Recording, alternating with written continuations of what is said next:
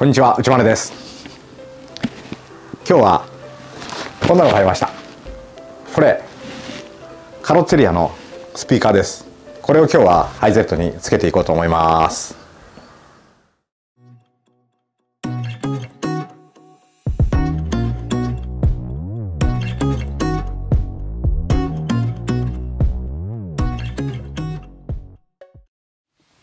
えー、とまずはスピーカーを外していきます。ここのスピーカーはこのね内張り剥がしとかで隙間に入れてやると。なかなか外れないなこれね。よいしょ。はい。こんな感じでスピーカー出てきましたね。これちゃんと取っといてください。スピーカーはこの2つのボルトで閉まってるんでこれを外していきます。ここね狭いんでこういうあのラチェットドライバーとかを持ってるといいですよ。なかなか普通のドライバーだとね入り込めないんで。はいこれでネジが取れました。これで多分ねもうスピーカーね取れると思うんですよ。ほらこんな感じで。簡単でしょスピーカー取るのは。スピーカーはこのコネクターでくっついてるんでこいつを取ってあげれば外れるはずです。ちょっと爪を押してやって。よしこれでスピーカーと線が取れました。はいでスピーカーが取り外したところでまず今回つけていくスピーカーの紹介です。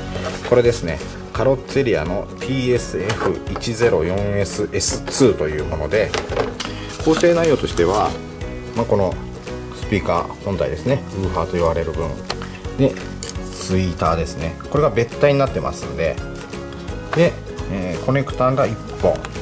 とメインのコネクタがもう1本で2本コネクタがあります。あと、まあ、付属品としてこういったねあのネジとか、えー、結束バンドとかあとこれはツイーターをダッシュボードに取り付けるための両面テープかな、まあ、こういったものがついてます。まあこれこういうのはね多分ねあの車種によってねいろいろ使い方が変わってくると思います、えー、ハイゼットの場合ここねこのスピーカーがねあの埋まってるこの位置があのカバーをした時に狭いんですよね。高い位置にスピーカーがあってあのスピーカーがねだいぶ上まで上がってきてしまうとカバー閉められないっていう風になるんでスイーターとウーハー別体式を買いました。じゃあ早速取り付けしていきたいと思います。えーとねまずね配線からやっていきますね。これがメインの、えー、配線になります。これはこの配線はね、えー、こっちがウーファーにつながるメインのスピーカーにつながる分でこっちがカーステアンプにつながる分。でもう1本3本あるんですよ。こっちが多分ツイーターかな。こっちはツイーターにつながる分ですね。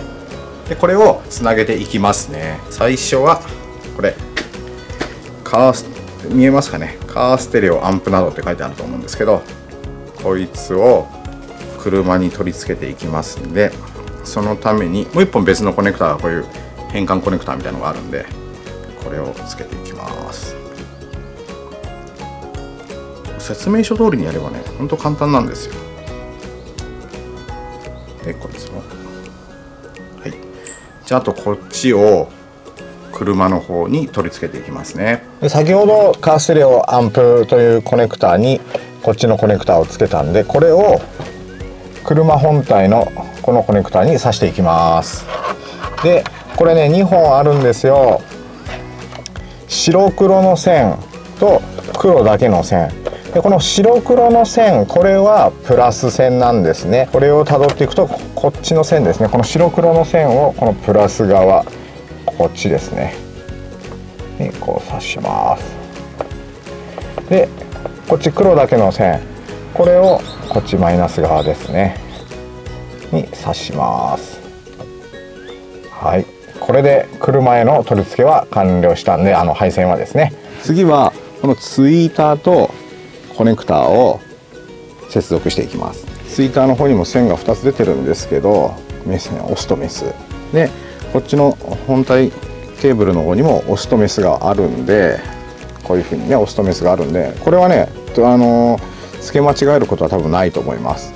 それぞれつけていきますね。はい。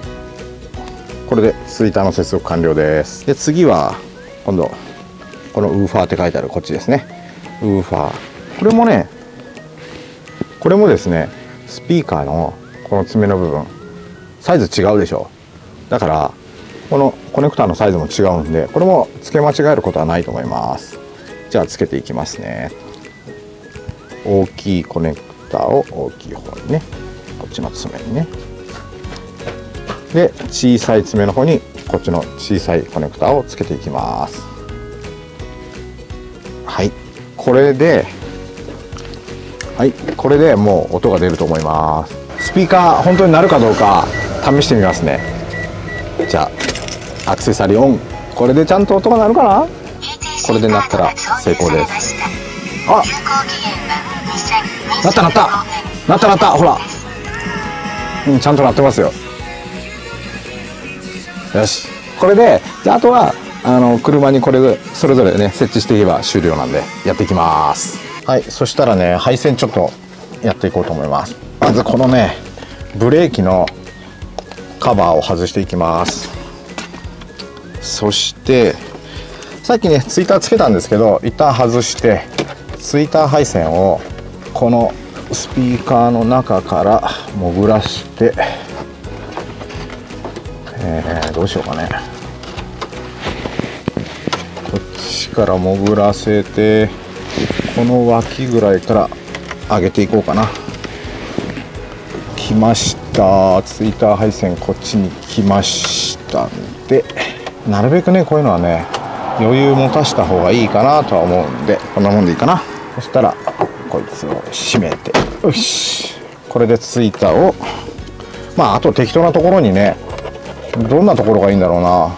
この辺かな。こうつけた方がいいのかな？この辺にねツイッターつけていこうかなと思います。ツイッターを車に貼り付けるときに、まあ、貼り付けるというか本当はね虹止めしなきゃいけないんだけど僕の場合にちょっと穴開けるのは嫌だったんでこのスペーサーをこれ最初からついてるんですよ。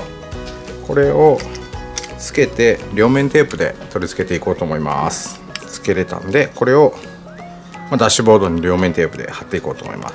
これねあの両面テープ付きのクッションもついてるんでそれをね使えばね多分すぐできると思います。で、えー、先ほどツイーターの裏にスペーサーを取り付けましたんでそのスペーサーの部分にクッション付きの両面テープを、え、貼っていきます。これもねあのー、スペーサーの形に合ったあのクッション付き両面テープになってるんで、えー、特段ねあの切ったりすることもなくしっかり貼り付けることができます、え貼り付けが終わりました。そしたら、えー、貼り付ける部分をしっかり脱脂してで反対側のテープを外して、えー、車に貼り付けていきます。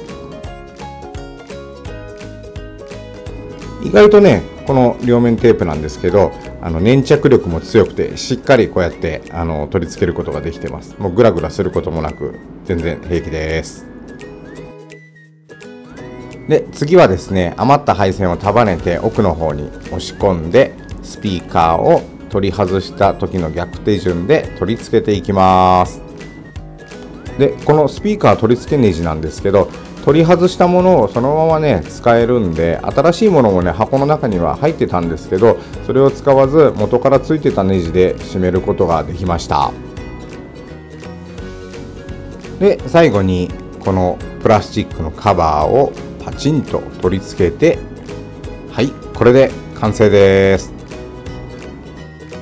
はいで左側の助手席側もですねほぼほぼ同じやり方で取り付け完了しました。それではですねもともとついていたノーマルのスピーカーとどれぐらい変わったか聞き比べてみましょう。まずはノーマルスピーカーの音から聞いてください。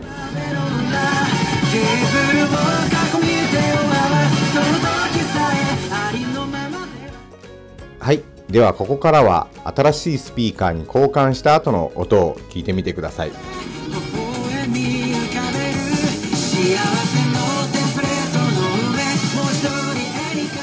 ということで今日はハイゼットにねスピーカー取り付けやってみました、えー、音ねそんなに変わったかどうか僕の耳ではよく分かんないんですけどまあ気持ち的にはね若干変わったような気はしますけどね。内丸でした。また見てね。バイバイ。